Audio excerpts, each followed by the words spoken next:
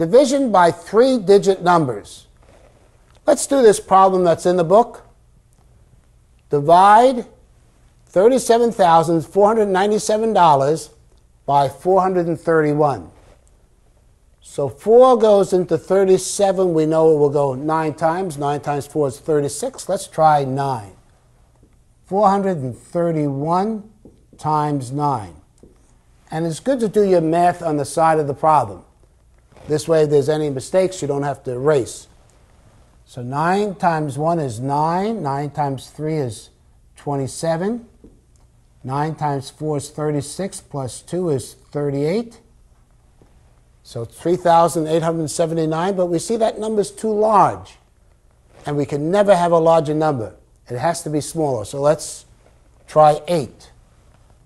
431 times 8. 8 times 1 is 8. 8 times 3 is 24. 8 times 4 is 32, plus 2 is 34. And you can see the advantage. By me doing the math over here, I didn't have to erase over here. Now all I have to do is transfer this number. 3, 4, 4, 8. And subtract that. 9 minus 8 is 1. 4 minus 4 is 0. 7 minus 4 is 3. Bring down the 7. Let's not forget, this is four digits, so that number comes over here. This is 8. And how many times is 431?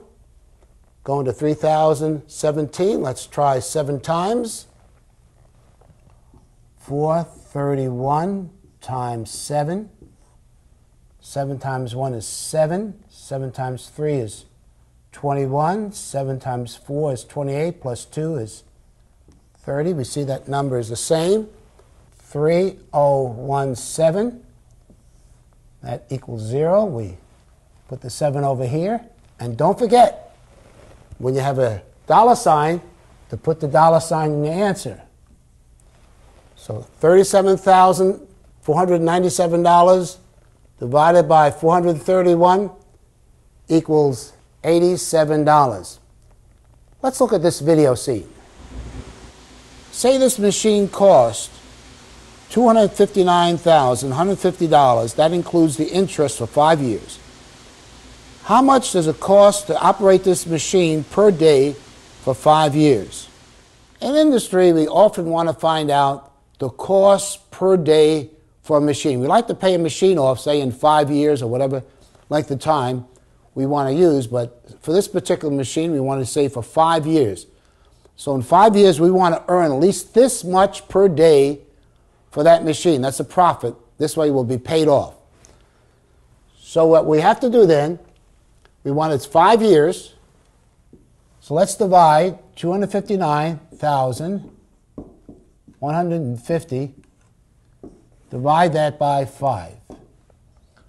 5 goes into 25. 5 goes 1 and 4 goes 8 plus 1 plus 3.